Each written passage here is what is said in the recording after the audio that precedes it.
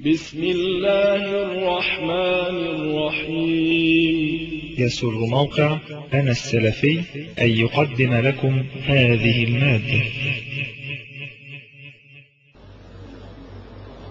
الحمد لله وأشهد أن لا إله إلا الله وحده لا شريك له وأشهد أن محمدا عبده ورسوله صلى الله عليه وآله وسلم. أما بعد قال الإمام ابن القيم رحمه الله فصل قال صاحب المنازل الأدب حفظ الحد بين الغلو والجفاء بمعرفة ضرر العدوان. حفظ الحد بين الغلو والجفاء. في جميع الأمور يكون بين متوسطا ليس غاليا في أمر ما. كل غلو قد نهى عنه النبي عليه الصلاة والسلام حيث قال إياكم والغلو وهو مجاوزة الحد. الجفاء التقصير إن يكون عنده تقصير في القيام بحق صاحب الحق التعامل بينه وبين الله بينه وبين الرسول صلى الله عليه وسلم في التعامل مع الخلق مع الوالدين مع العلماء مع السلطان مع الأقران مع الضيف مع الأجانب مع الأصحاب في الأكل والشرب والجماع والركوب والدخول والسفر والإقامة. والنوم والبول وقضاء الحاجة والكلام يحفظ الحدود يلتزم بما شرع الله في كل ذلك قال هذا من أحسن الحدود فإن الانحراف إلى أحد طرفي الغلو والجفاء هو قلة الأدب. الانحراف إلى أحد طرفي الغلو أو الجفاء يا طرف الغلو يا طرف الجفاء. الجفاء اللي هو التقصير كما ذكرنا. والأدب الوقوف في الوسط بين الطرفين فلا يقصر بحدود الشرع عن تمامها ولا يتجاوز بها ما جعلت حدودا. ولا يتجاوز بها ما جعلت حدودا له فكلاهما عدوان والله لا يحب المعتدين والعدوان هو سوء الأدب.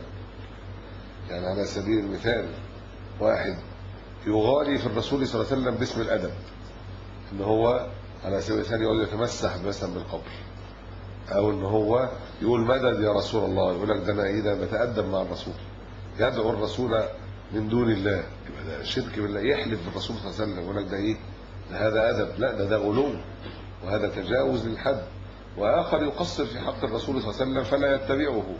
ولا يقبل خبره حتى يعرضه على عقله أو على آراء الرجال أو على المذهب أو غير ذلك. قال بعض السلف دين الله بين الغالي فيه والجافي عنه. فإضاعة الأدب بالجفاء في التقصير بقى كمان لم يكمل أعضاء الوضوء.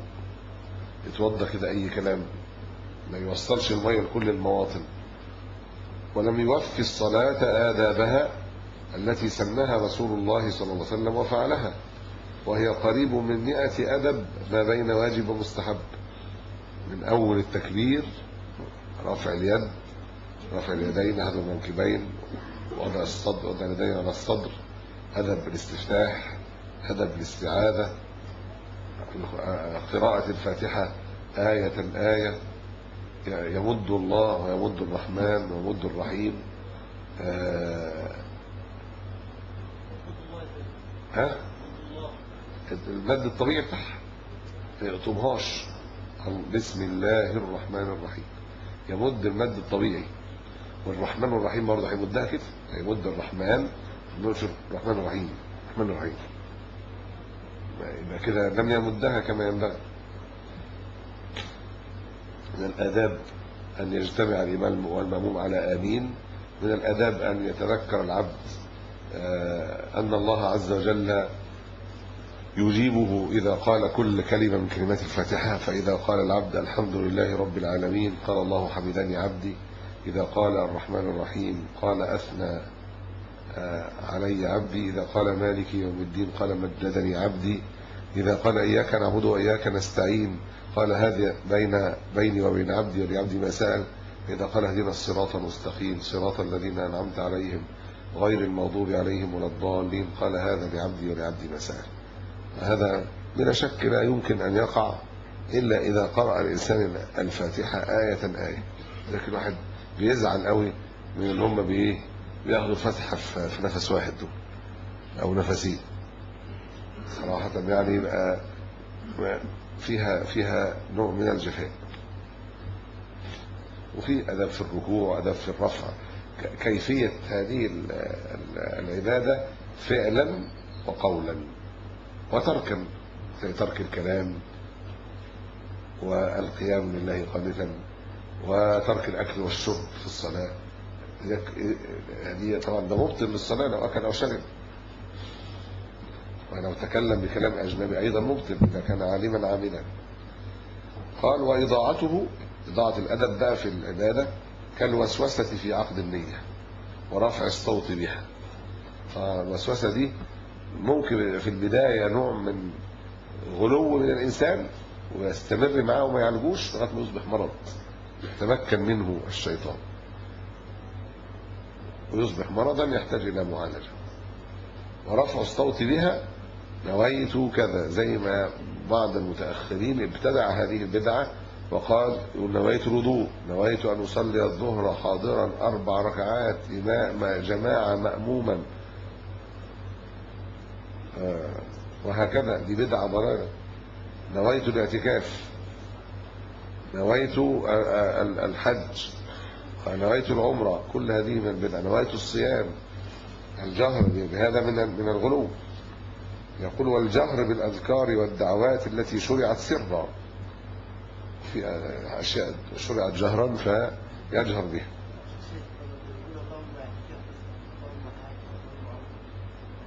لما يقول لبيك اللهم عمره ولبيك اللهم حجا بس. هي دي ورد فيها ان يقولوا وده مش نية ده لفظ جهر بالتلبية. قال وتطويل ما السنة تخفيفه وحذفه. كالتشهد الأول. حذفه مش إلغاؤه الحذف اللي هو التقص- تقصيره يعني. يعني لا يطيل فيه أكثر من التشهد والصلاة على النبي عليه الصلاة والسلام. وإن كان بعض العلماء يرى أن التخفيف فيه يقتضي عدم على النبي عليه الصلاة والسلام والحديث الذي ورد أنه كان يجلس كأنما جلس على الرضف على الحجارة المحماة ضعيف. وبالتالي فالصلاة على النبي عليه الصلاة والسلام مشروع في التشهد الأول لكن لا يشرع الدعاء إنما يدعى في التشهد الأخير. يقول والسلام الذي حذفه سنة. السلام عليكم ورحمة الله. السلام عليكم ورحمة الله. يقول السلام عليكم ورحمة الله. مثلا. يقول وزيادة التطويل على ما فعله رسول الله صلى الله عليه وسلم كأن يصلي في الفريضة بالبقرة هذا غلو. عشان كده هو ضبطها بما فعل النبي عليه الصلاة والسلام. إن معاذا كان يصلي بالبقرة فقال أفتان أنت يا معاذ؟ بعض الناس يرى أن هذا من حسن العبادة وهو من الغلو وهو من سوء الأدب أن يصلي فريضة بهذا الطول اللي فعله النبي عليه الصلاة والسلام أنه كان فقال هل قرأت بسبح اسم ربك الأعلى وهل وإذا الش- و- والشمس وضحاها؟ فأمروا بأواسط المفصل في الفريضة. وكان هو عليه الصلاة والسلام يطيل في صلاة الفجر والظهر أحيانا وأحيانا يقرأ بالطوال وأحيانا بأواسط المفصل وصلى مرة في المغرب بالأعراف في الركعتين كلتيهما. وكان الكثيرا ما يقرأ باقتصار المفصل المهم إن السنة في ذلك ما فعله النبي عليه الصلاة والسلام. يقول لا على ما يظنه سراق الصلاة والنقارون لها ويشتهونها اللي بيصلوا بقى شايفين إن هو يقرأ آيتين في كل ركعة من يعني بالكثير يعني. يعني هذا يكون عندهم كان الذي ينقض صلاته. يقول فإن النبي صلى الله عليه وسلم لم يكن ليأمر بأمر ويخالفه. لم يقول له من أما بالناس فليخفف وبعدين يقول هو بيطول فالحد في ذلك سنة الرسول صلى الله عليه وسلم.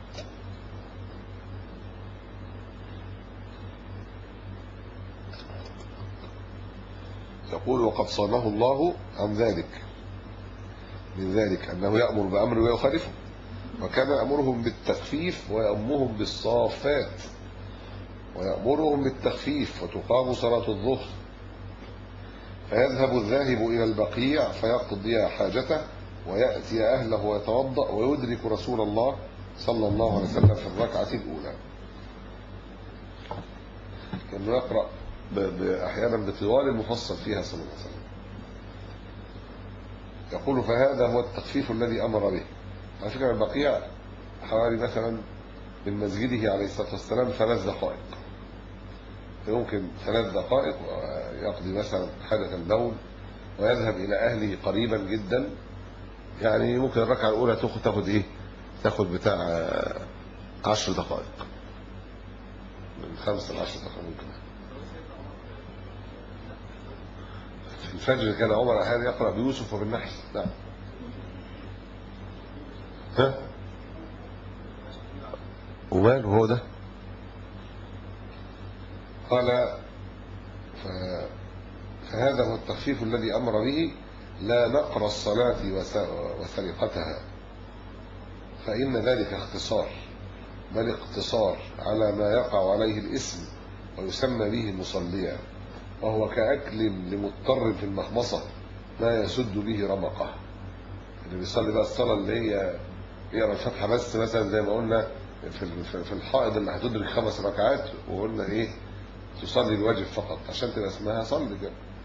يقول فليته شبع على القول الآخر. يعني في قولين في الأكل المضطر. يأكل ميتة أو محرم. يشبع يجوز ولا يأكل قدر سد الرمق؟ فهو بعضهم قال يسد الرمق وبعضهم أجاز الشبع وده الأقرب إن هو يسد به الجوع يعني يوقف به الجوع لأن الصحابة رضي الله عنهم أكلوا حتى سمن من الحوت الذي قذفه الله لهم وكانوا يرون أنفسهم أنفسهم مضطرين.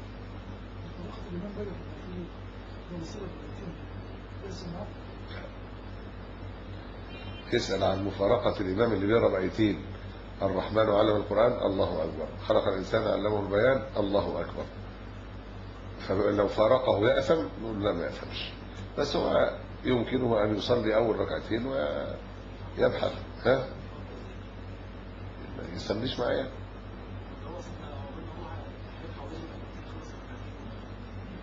المهم إن هو يعني يصلي معاه الركعتين الأولانيين على أي حال وإيه ويكمل بعد كده في مكان آخر. يقول وهو كجائع قدم إليه طعام لذيذ جدا فأكل منه لقمة أو لقمتين فماذا يغنيان عنه؟ يعني هيبقى اسمه أكل حاجة. ولكن لو أحس بجوعه لما قام من الطعام حتى يشبع منه وهو يقدر على ذلك. لكن القلب شبعان من شيء آخر. هي دي المشكلة. إن القلب يعني شبعان من الدنيا فعشان كده ما حسش بالجوع. إلى الصلاة وإلى قراءة القرآن. قال الشيخ حمد الفقي رحمه الله نعم والله فإن الصلاة هي غذاء الروح والقلب فإنه بحاجة إلى غذائه مما يتنزل من رحمات الله كما أن الجسم بحاجة إلى الغذاء مما تخرج الأرض. لما كان كل منهما يهضم غذاءه فيحتاج إلى غذاء جديد تفضل الله ربنا سبحانه فجعل الصلوات خمسا مقسمة على أجزاء اليوم. هذا التقسيم الحكيم ليأخذ الروح والقلب الإنساني المعنوي الكريم وجبة الغذاء بعد اضطرابه في شؤون الحياة وفتنتها وفتنها التي هضمت غذاءه كالجسم سواء بسواء. وهكذا العلم وبقية ما تفضل الله به علينا. ربنا الكريم من العبادات والأعمال الصالحة يقول ومثال هذا مثال هو الأدب حفظ الحد بين الغلو والجفاء التوسط في حق الأنبياء عليهم السلام. أن لا يغلو فيهم؟ التوسط بين الغلو والجفاء. أن لا يغلو فيهم كما غلت النصارى في المسيح؟ ولا يجفو عنهم كما جفت اليهود؟ فالنصارى عبدوهم وعبدوا المسيح عليه السلام واليهود قتلوهم وكذبوهم والأمة الوسط آمنوا بهم وعزروهم ونصروهم واتبعوا ما جاءوا به. ومثال ذلك في حقوق الخلق أن لا يفرط في القيام بحقوقهم ولا يستغرق فيها. لا يفرط في القيام بحقوقهم يضيعهم يترك أهله وعياله بلا نفقة يسيبهم يمشي لا يتحمل مسؤوليته في تربيتهم وتعليمهم وتأديبهم ولا يستغرق فيها. واحد يقول لك عشان العيال أنا عايز أربي عيالي. اشتغل 16 ساعة في اليوم عشان يعني إيه يربي عياله؟ عشان يجيب لهم فاكهة كتير ولحمة كتير ولبس غالي ويوديهم مدارس آه، آه، غالية. وهو يعمل إيه؟ وهو يتركهم بلا تربية ولا تعليم. يقول ولا يستغرق فيها بحيث يشتغل بها عن حقوق الله أو عن تكميلها أو عن مصلحة دينه وقلبه وأن لا يجفو عنها حتى يعطلها بالكلية. فإن الطرفين من العدوان الضار وعلى هذا الحد فحقيقة الأدب هي العدل والله أعلم. قال وهو على ثلاث درجات. الدرجة الأولى منع الخوف أن لا يتعدى إلى اليأس. وحبس الرجاء أن يخرج إلى الأمن. وضبط السرور أن يضاهي الجرأة.